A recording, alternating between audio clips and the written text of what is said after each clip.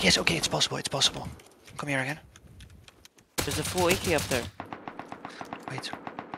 There's an AK right there. You see him? 60? Headshot hit him. I was I hit him twice. He might be down, but it was a silencer. I know. Leo, they're